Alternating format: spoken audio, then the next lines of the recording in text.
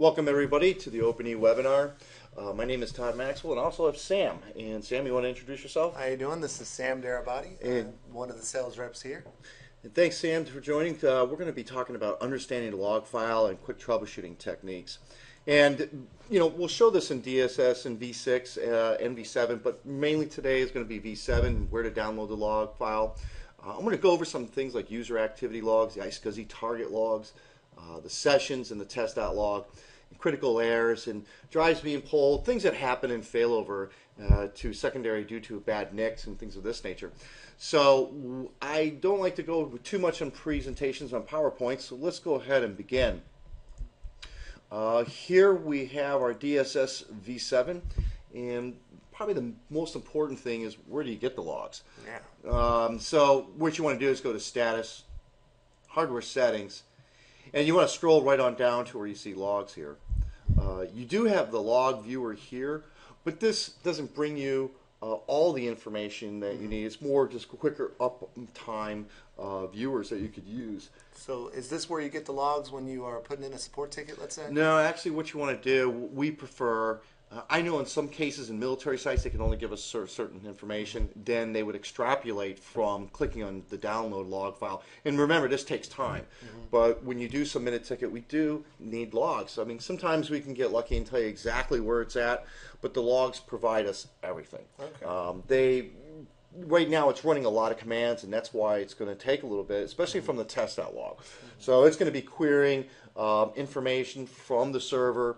Uh, it's collecting all these files, and when we open up the log file, you're going to see how uh, vast they are and how important they are. So this can actually take up to 30 seconds to a minute and a half. As you can see, it's working. So we don't need to sit here and keep on. What I've done is I've collected some logs and from cases that we have, and I- I'm going to present about five logs because this can go on forever. And I want to. The reason why I'm focusing on a lot of this on is going to be based on sc- iSCSI, failover, uh, drives, uh, arrays, RAID arrays that having our issues with critical errors that basically help that assist the failover. So if the primary has a problem with the controller, uh, the volume, uh, then it will fail over. And so we want to be able to look at some of the main things that we see. Here's the first log we're going to talk about. It's about uh, SCSI sessions and targets. And let's go ahead and open it. Now I'm using a, a Windows uh, WinRAR program. And let's make sure everybody looks like can see it. Looks like we are. Okay, good. All right. So we have a, a condition here is that you can see there's just a plethora of log mm-hmm. files. I mean, How it- do you know which one to look at? I well, understand. well, that's what we'll do. So let's say we have a an issue. The first one is typically when we get a support case, mm-hmm. the one of the main logs we look at is the critical errors log. Uh, this also can be sent to you via email. So whatever, and also in the event viewer in mm-hmm. DSS. So whatever happens, this is being collected and then it emails out. okay. So I'm going to go take a quick look at it. Um, this is a looks like a failover issue. I mean, obviously, common sense tells you that there's some issues here. Uh, you have some ping nodes that are down, which is needed for the failover. Um, it looks like uh, the Ethernet NIC 0, 1, and 2 is down. Uh, there are connection problems. So these are some of the things that we would be looking at, and, and what would be the cause of that. Here you can see right here uh, the failover condition is going consistent to destination unknown. Um, that could mean that either the volume replication NIC, um, you know, what is happening here? Maybe there's bad packets. And so what you want to do is start deducing from that and start working from. So you're almost being a detective at this point in time. Uh, if we if we quickly scroll down because it could take literally forever, but here you can see obviously we've got some issues with a ping node. Uh, you got uh, 10.3.233.313 is down, um, and 11 is down. So there's some issues. Uh, either the network is down, maybe the switch that it's connected to is off. Um, so maybe check for bad packets would be one way to look at it. Uh, so the critical error logs would be one log. Again, you'd probably look start looking at the D message two logs. Uh, also, the previous D message two logs. So today is 521, right? Well, maybe something happened on 520 or uh, several hours before. That can give us some type of indication to hunt the problem down. So here we look, we can see some lot of activity on the iSCSI end. Uh, you, the D message is just pouring out the information. It's trying to get consistent, but it's just inconsistent from its partner. So here Is we there any way you can see that on the GUI itself? The consistency. you can. Um, well, in the GUI, you can see if it's consistent. Let's bring up DSS. Ah, see, now it came up and finally took off with the log file. Uh, here, you can see if it's consistent by going to status, tasks, and depending if you're in a active active or active passive, you want to look at the source volume. So here, it's showing that it's consistent to consistent Okay. from right here. Um, where in the logs it showed, you know, it was cons- it was consistent on this end, but destination unknown. So it's, it's not reaching its partner. Uh, you can view the task from the volumes that are in source mode. So here, if we go to configuration, volume manager, and volume replication, and then you'll see that I'm able to view the volume that's in source, okay, for that task. Uh, and but for the destination, well, obviously the other server will be source when this is an active active uh, scenario. Active passive, all these would be source or all destination. So now we saw a lot of activity. Let's find out what happened and took place. Here we got a log from 521, uh, 521, and of course things started getting probably adding up to activity. Uh, looks like on the 18th, 19th. Let's take a look back. What maybe something can give us some type of information of what's happening. Same output uh, we see here. So it's definitely uh, looks like there's some write errors on, on the NIC, so maybe we need to troubleshoot and find out where that NIC problem is. Uh, if we look back here on a few days before, I mean a few hours before, same thing. We're seeing a lot of uh, disconnections right here. So let's troubleshoot this a little bit further. Um, let's look at the DRBD, which is the volume replication. So this is uh, where a lot of the configuration, when you set up, if you notice, we looked at the volume replication, what was in uh, source and what was uh, in destination. Here, you can see some volumes are in secondary mode and some are in our destination or in source or primary and secondary. And so this information would be tied into here. So all the replication uh, logs. All, all that replication is involved in here for the volume replication. Okay. Um, data replication being a different uh, log in the rsync, but here you know you're looking at a 10x network, 10.3.235. So we're troubleshooting that NIC that probably could be causing here. So let's take this further. Uh, if we go into, let's look for the test log. And what we're looking for is the NICs. And find, you know, there's a lot of information in test log. It would take too long to go over. We're going to go to the IF config section. Um, here you can, this is the, uh, another part of the IF config where you can see the speed of the NICs. Uh, here you've got a 1 gig E. It's running full. We have seen where they're running 100, and we know that it's a, a, a 1 gig E NIC. Uh, that could be caused maybe the, the switch was throttled down. Maybe there was a setting that you can do in the console screen. It was accidentally set and throttled it down to 10100. So you can check to see if you have a bad NIC here or not. You can. Um, there's several. One way is, uh, and by the way, this is uh, InfiniBand. Um, here we're seeing that. Let's look at. Here's the InfiniBand. There's the 10.3.235 NIC that is complaining. And if you see anything that's out of normal here, just if you look. And I, when I train, I want people to hunt. If you could see right here, you know, the receiving RX means receiving, and then the TX is for transmit. So you could see he's pushing a lot of data uh, and receiving data. So he's got about uh, 330 gig versus the other one at 43 megs.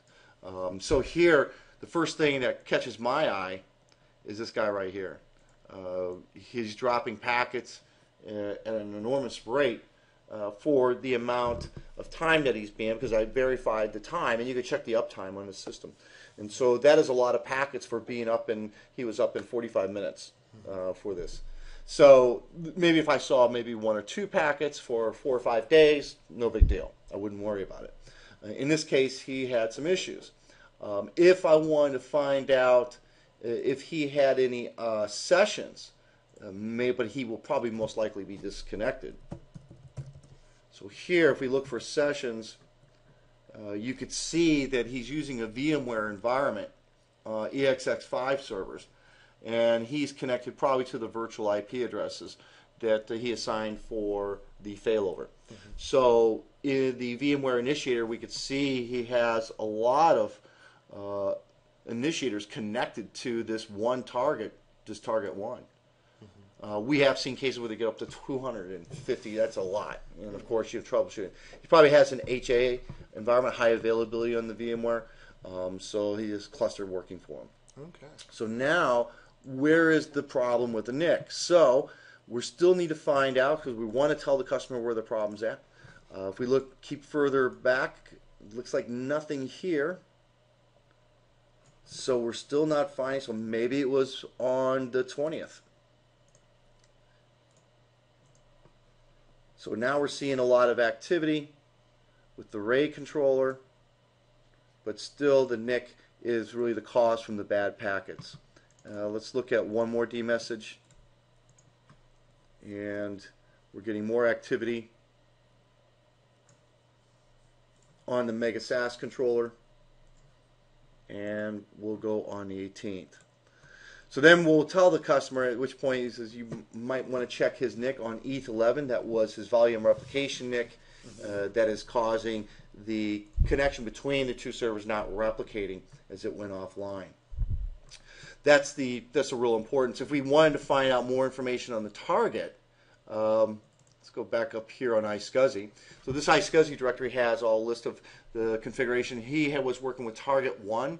If we look at the configuration file on this, here we can see the values, max burst length, uh, the outstanding ready to transmit to one. In fact, he should probably set that to eight because that's a recommended value. VMware likes that. Um, these values are okay for VMware, um, and you can change these. Okay. So typically, you want to change them before you uh, have your initiator connected to them. Uh, we get a lot of questions regarding this because uh, to change them, by the way, you can go into the console screen. This is remote console access. Um, Is this through the PuTTY as well? Or? yeah, this is through PuTTY. You can enable this right here in Setup, Administrator Settings, and scroll on down. You'll see Remote Console Access. Uh, so its default port is 22,222, and of course you got to put a password and confirm it. Um, and then username is CLI for Command Line Interface. Okay. So if I wanted to to change this value for these targets, um, you could do so. And you go into your PuTTY session or walk up to the server, do Control Alt W, and of course we just give you this message to be careful in these changing these settings, especially if you have initiators running your virtual machines. You really don't want to change, and we will prevent you if some of the targets are uh, in a failover. We'll prevent you from making those changes. But you know things like you could do your two inch jumbo frames config. Um, but let's focus on the iSCSI daemon options. And here we go to target options, and now I can change those values right here. And you have the other targets as well that you can change for back, right? Correct. So let's say for his VMware condition, I would see here it's in a cluster running. So I'm going to have to stop the cluster. So you want to do this before you start your failover condition. Um, the other thing is, is that if, if I'm doing it on, let's say node A that you see up here, right here where my mouse is pointing, that's node A, I need to do it for node B. So they have to match. Okay. Um, also, in Linux systems, you want them to match as well through the iSCSI.conf file. Um, so that's that's helpful to know. You were asking, uh, I think before, about the NICs, how to verify on the Which one's bad. Right, which one's bad. Um, let's go look at that. If you know, if I have a suspect NIC, uh, being in InfiniBand as well, because in InfiniBand we treat it as uh, Ethernet. Uh, what you want to do is go to Control Alt N, and here you get some information. So let's This is the network, right? yeah, this is all the network settings. Uh, this is in the console screen. Um, you won't be able to get this information from the GUI. You will be able to get it here, Okay. just like verifying we did with the test.log in the ifconfig. Uh, here, if we look on ETH0 here on this 1.220 NIC, I want to go to info. In here, we would be able to see all his drop packets Okay. okay, for the suspect NIC.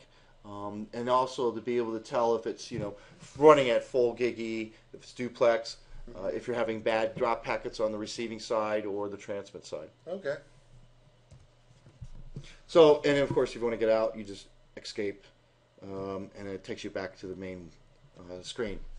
Okay, so let's go back to another set of logs.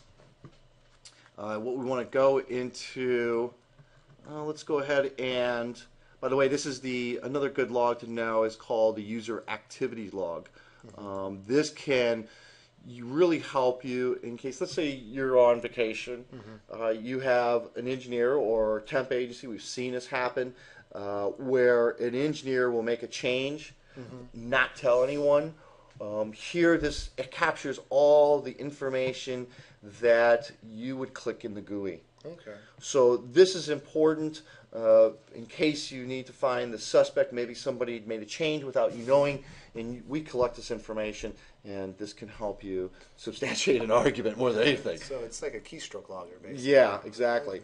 Uh, we don't uh, collect any information from the console screen, only from the GUI side. But these compressed dates uh, provide information and value that uh, you would normally find, um, you know, from the previous days to do your hunting and diagnostics. All right, let's go look at another set of logs.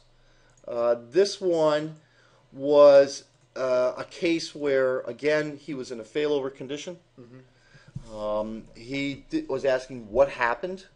So here we see a lot of activity again. You know, again, this was today. So these are cases that are just like today. Okay. Um, so here we got a D message zero that was compressed and D message zero one that something might have happened. Here, the last event was on uh, almost a month ago. So obviously something took place, you know, yesterday. Okay. Um, but let's not get into that. What we'll first do, again, I always stress, start with the critical error logs. This is what our engineers do. If we take a view look at that, um, obviously it's looking like it's going to consistent, consistent, and then unknown. So its replication state is unstable. Um, here it's stating that the link 10 is down and 11 is down, and then we're stating that there could be connectivity problems. Okay. Um, wow. Immediately you see that scrolling on down looks like on the 19th uh, something happened that uh, generated here. You see secondary node. This node took over all resources. Failover completed. Status is now active. Well, that's great. I mean, thank God he had replication because if not, let's say you have a hardware system error on your whether it be RAID controller, it be NICs. Um, you want failover. Exactly. You know, uh, people think that just because you have a RAID controller that that is some type of data redundancy. It is not. And too many times we see these, and when we start investigating, so right now we see a call trace error. Uh, typically, when we see these, most of them are related to hardware issues. Uh, there are hundreds and thousands of different types of call trace errors. Um, here we see watchdogs. That's most uh, addictive to being maybe a NIC issue. Um, and looks like there's some IRQs that are uh, screaming a little bit with the CPUs, and all of a sudden, if we scroll down, uh, we are seeing the replication status start reporting that it has issues. So, what's the problem? Um, so, what we want to do is investigate that. If we go to the dmessage 2 log before the compressed dmessage, because it looks like it could have caused between maybe on the 18th, 19th, 20, right in there, we're going to find those dates. Here we're seeing a lot of the you know split brain issues detected. Uh, this is due to because possibly that NIC, could be the volume replication NIC, that is the suspect again that we're seeing. Uh, here it's just continuously trying to uh, communicate with his partner, and obviously we're getting jiffy errors, uh, which were related uh, probably to the call trace. So what we want to do right now is start hunting where the problem is. Again, we go back to a date. We start backing down from the previous hours and days. So let's take a look. If it's the same type of D message, whoa, right there. Okay. So obviously you see the problem.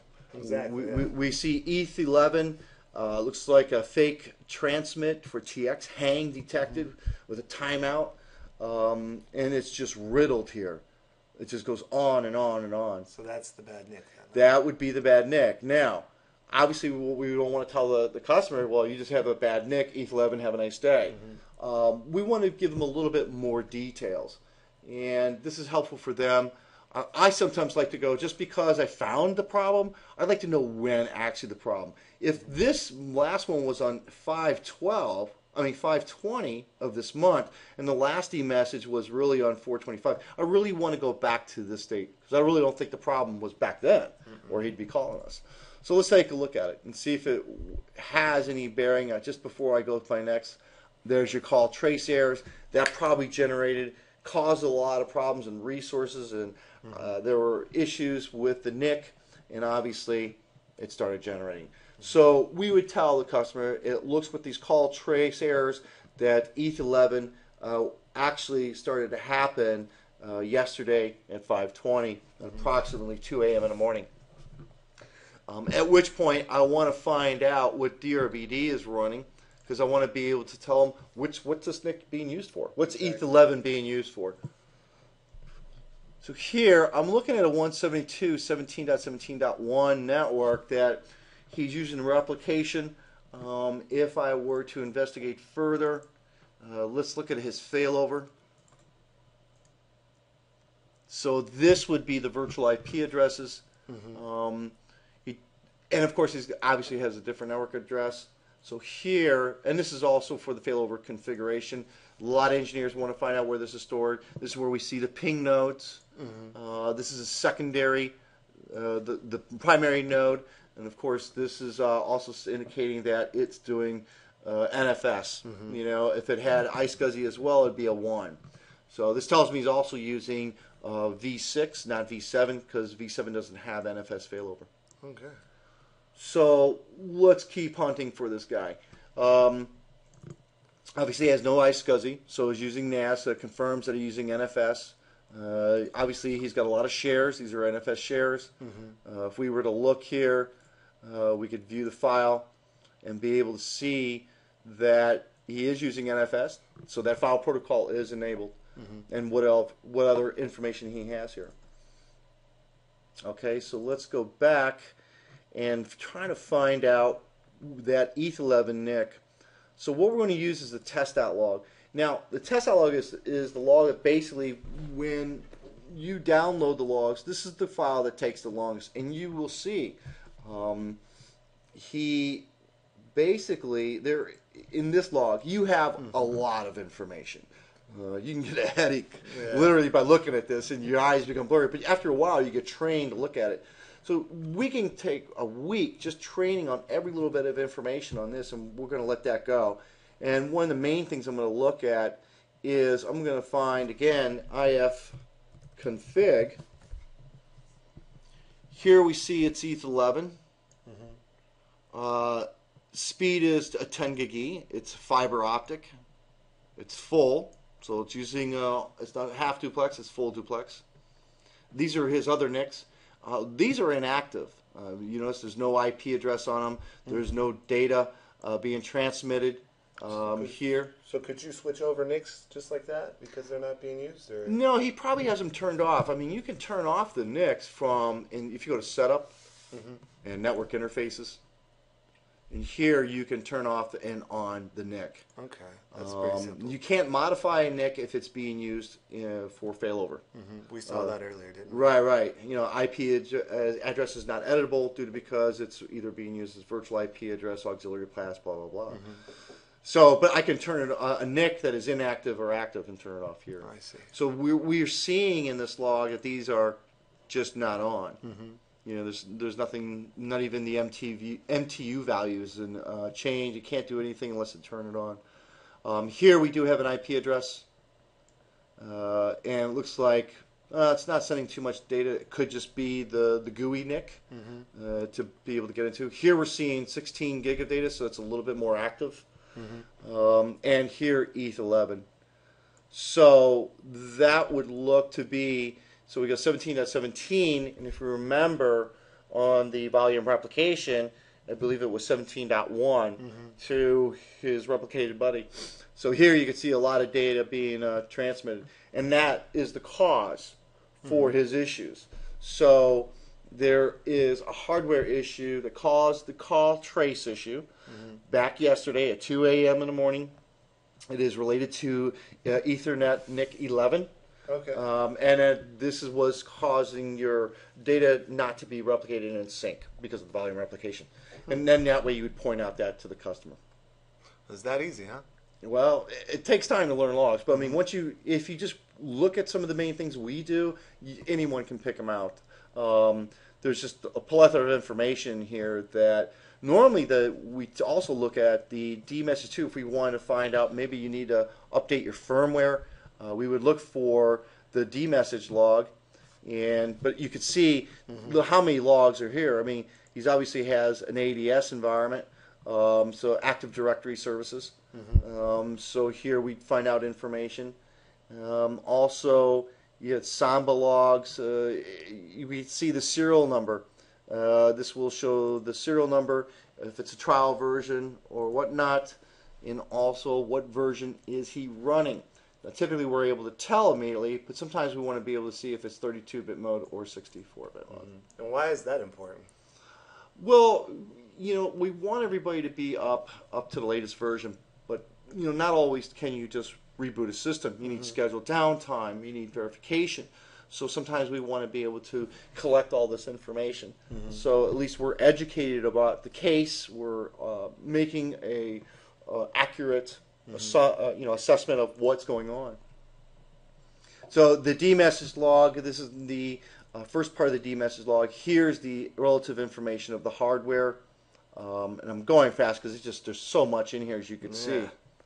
Uh, if I scroll down, I could see that he's uh, here's his Areca array controller. He's using 1680. I could see the size of the array. Uh, is the write cache enabled, and so forth. So this is really good information to have. Also, uh, sometimes you'll pick up information like the ETH11, uh, the TX hang that we had. You can also pick those up here. Uh, but here, you're able to find out, you know, also the firmware. It had a customer that had a 10 gig E, uh, NIC. He was uh, running our latest version, but sometimes the vendors, like uh, let's say Intel, comes out with a new update driver, and yet we've already did the release, so there's no way we'd know. And we would give them a small update to update to the latest driver than what they're currently using. So here uh, you see that the 10 gig E, what he's using, and of course you can do, look in the test out log uh, to find out what driver version we are running, or you want to know what we're running, and if you wanted the latest one.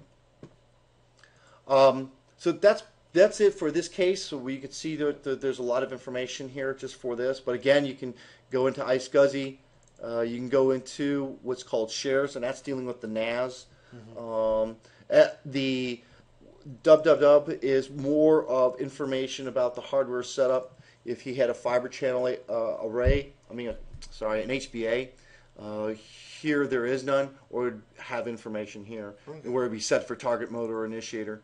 Um, and so there's a lot of information here. He's got uh, the RAID controllers in there, the networks in here, server name, a lot of stuff. And of course, in the setup administrator, here you could tell if he's got remote access, administrator access.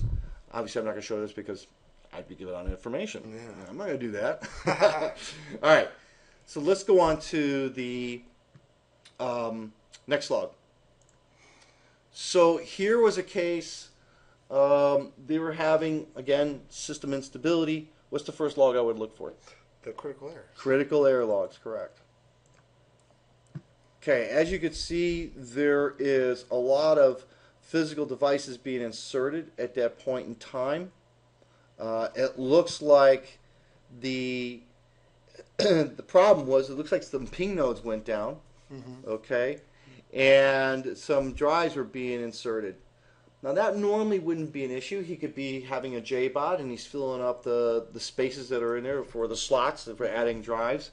So we want to be able to get more information. So let's take a look at the DMessage too. So here we're seeing some activity with iSCSI and SCST. Um, nothing vital yet, but let's dig a little deeper and see if there was some inconsistencies. Sometimes uh, the array controllers will start acting up. These are all messages from the Mega SAS controller, so from LSI. And if we scroll down, it's just look looks like there's some activity could be from those drives or a drive. So in sometimes RAID controllers are very difficult for us to diagnose. Um, usually that's why we ask if to do a RAID health check. If we go back again, the most activity I see here, going back, there is none for any D message 2. So here I would say that the critical error logs, even to relook at those, go back almost a, over a month ago from what yesterday they submitted for the logs. I see. So here in this case, you know, again, I would look at uh, obviously ping nodes were down. Well, maybe there's some bad packets. Uh, here, if we go into the test log, and again, we'll go look at the ifconfig. So nothing really critical is jumping out on these NICs. Doesn't seem like it. Yeah.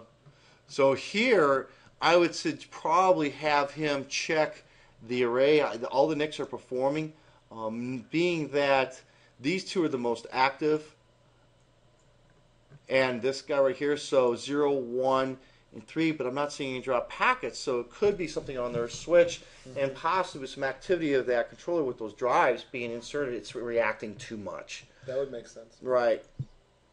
Okay, so let's go to another one.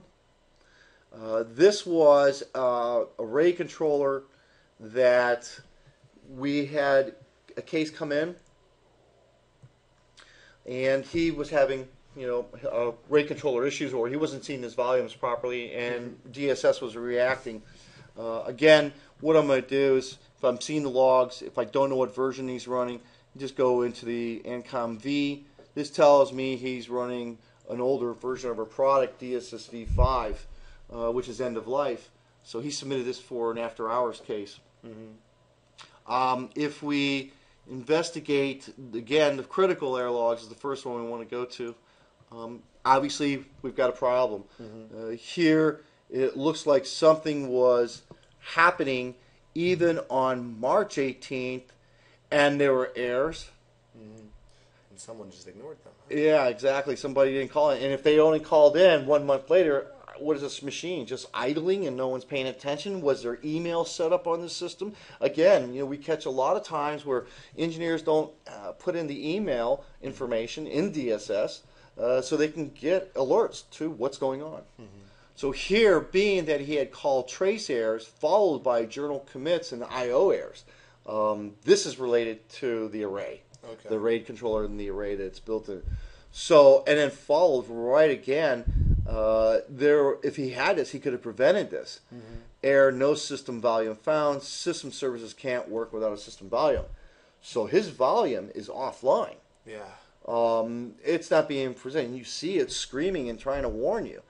Um, this basically put him in a degraded state for his virtual drive zero. So he's using uh, a RAID controller. I believe this is a MegaRAID. Uh, so you can see the MegaRAID monitor providing this information. Um, it looks like he tried to do something and it looks like a duplicate IP address. So we're warning you about that. We're picking that information up. Um, in this case, to tell this customer, uh, looks like he's did a some so- software raid because he's using MD0, um, and he's taking a bunch of arrays and combining it and using our software raid. So obviously there is a serious problem with this controller, and we're trying to provide the information. I wonder what the DMS too is providing very much information at all, uh, because it looks like the controller as the main culprit and it's going offline or it's having some instability, you know, and you could start seeing SDA as this going writing beyond end device. That's the typical error that we're going to see on a, a bad array or something's going terribly wrong. So, and again, if you see all the information about the NICs, obviously this is not a NIC problem. This is related to uh, the array controller that the that's supporting the array. So here, in this case, we would tell the customer that uh, please either contact LSI uh, to get their support um, to find out what they can do to re- remedy. Maybe it's a, a flaky array controller. Maybe the call trace, uh, which you know is generating some problem that uh, your journal commit IO errors is not presenting the volume. At which point, obviously, you need help, Yeah. serious help. At which point, we can help you to a certain point. Then we're going to need their engineers to step in. Uh, we've seen a lot of great success with LSI engineers. Uh, here, if we go back, if you look at the dates, D message, they're all 424. So if I usually go back to where first incident could have caused it, uh, this gives you from the beginning uh, in the first instance. So here, it looks like it's trying to present SDA, but then uh, you could see that it's having issues. And to find out information more about where SDA is used, uh, or actually his MD0, if you just go into hdparm, which for for hard drive um, parameters, this is giving you the information for SDA, SDB. So he's got multiple um, volumes. Now what we're going to do is go vgdisplay. So it's volume group display. And that's really going to be way down here in the um, test out logs. Here in fdisk, you can see, well, he's using, you know, obviously a USB, uh, one megabyte, uh, I mean, one gig uh, USB flash stick. Uh, SDA, can see it looks like a 16 terabyte volume. Um, if we look down, he's got many of them here that he's making a volume group. So here we could see that he's created a, a physical volume, and of course he's presenting it to it, and that's obviously VG. We call it VG0, VG01. Uh, it looks like he lost that one. Um, that other one that was, uh, it's not being presented because that array is having issues. Let's go look at one more, one last one. Here's the a case where array controller, and again, this is why I'm focusing on these because replication is so important. What you see and what you were getting here, obviously, you're seeing issues with a lot of drives or Yeah. array controllers, and, and replication is important. And having redundancy, data redundancy, is very important. Um, here, I could tell that he's running on V7. He's running the latest release, and looks like the it gives me all the information release date. And right here, I want to look at the critical errors. Now, this is really weird because you're seeing a lot of these happening here. Inserted, drive inserted. You know, these are way too many messages to have. Um, here is we're, we're trying to pick up the, the controller. It's trying to reconnect to the drives. It, it looks like it's being inserted all the time. Is there a connectivity issue between the drives or the, the backplane or the cables? Uh, what's causing this fluctuation? Um, looks like he issued a shutdown command to restart. Um, looks like a lot of problems from this controller standpoint. Again, this is where uh, you want to make sure that your firmwares are up to date. Um, contact the vendor uh, that is either you know whatever array controller your vendor is using, uh, and also whatever components you have. So here you just see way too much information coming in from the critical error logs. And again, if if uh, hopefully he set up his email, uh, if he did to be able to see uh, the or to be able to be alerted for that information. Now, here we're in the D message logs. And again, you're just going to pick up a lot of information, everything that's in the system. Um, you, from obviously you're seeing USB ports. Obviously, we're seeing the MegaRAID controller. Um, here we're seeing the type of RAID controller. So it's a 9271. Um, what we're finding out here is that here is uh, SDA, so that would probably, I would assume, that would be his boot media. So he carved out a two gigabit volume from his array, made that the first boot order, installed DSS on, which is great. Smart thing to do. Yeah, or you know, a lot of times I do recommend using an SSD drive and dedicating that or mirroring that if you really want to do that. Because if you have problems with your array controller, how is DSS going to be? You know, if you're having to do any uh, diagnostics or tests, so you probably want to look at that. But a lot of engineers do like to put carve out a two gigabit volume and then install it on their array. Uh, here, I could see that SDB, his other volume, uh, or his probably his main volume, volume group uh, VG00, he's got the write cache disabled. Now, we recommend to enable it for performance, but uh, if the RAID controller has what's called a BBU, a battery backup unit, well, then if that battery backup unit is charging, it'll go to a write through state, or what you'll see here, write cache is disabled. Um, if we continue, we can see he's got other volumes here um, that he's got SDC, and of course his B is for his main volume group.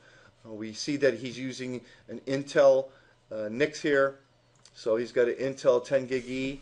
We see the version, so he's running the latest version, which is the latest update in from Intel. So that's the latest driver. We have a small update for that. Um, so really, other than that, it's coming out clean. It looks like their issue is again uh, back to their their controller just bouncing back and forth that you saw. So again, here's where we would ask them to contact um, the LSI. vendor or LSI, right, to be able to follow through and see what they can diagnose from their logs. Also, the LSI logs are here. Um, LSI is able to. Uh, we recommend that you save these and send these to LSI. Uh, as you can see, there's a lot of information. Uh, 3ware is an LSI RAID controller? That's where they bundle that in here. MegaRAID is where you can see a lot more logs. So here you want to be able to uh, look into these logs. Uh, well, the LSI are Intel engineers, or even Dell is a they OEM the LSI. So you'll see the Dell logs as well. So you want to give this to those engineers. Again, that's all this information is somewhat stored. I mean, we don't provide everything for the LSI Intel Dell RAID controller. If you go to hardware RAID, these values are stored here. So let's say the logical drive zero. I can set these values right back. Remember, we looked at the cache. Yeah. Okay, it was enabled. Uh, if I write right through, that means it will be disabled, and that's what he had on his other one. But again, he's got some issues with his controller. For those drives to be that active on and on, being inserted, uh, he's going to have a a performance issue, uh, b some instability, and so I would seriously check that. But all the information is here that we collect, and that's the information you want to send to uh, those support engineers from Dell, Intel, um, or any other vendor that is. Well, that's about it. I hope that was helpful, and hopefully everybody else learned as well. And I want to thank everybody for watching this, and also want to let you know that if you go to our main site and www.open-e.com and go to the support, you'll see webcasts and videos. Uh, there is a lot of information here. Uh, the last time we did the logs, and you might want to research those again and review them. I try to go as quick as I can for you all because I know you're busy. But here's one where on um, March 12th that uh, I did for the log files, what the logs mean. So there's more definition. Uh, so and search histories, being able to look at certain the RAID controller information, and so forth. So I think those are valuable for everybody to, to review if you want to become. Definitely. Of course, you do pay for support, so you can sit back and relax and let us do that, right? Exactly. exactly. Okay. All right, we got to go. Take care, everybody. Bye bye. Bye.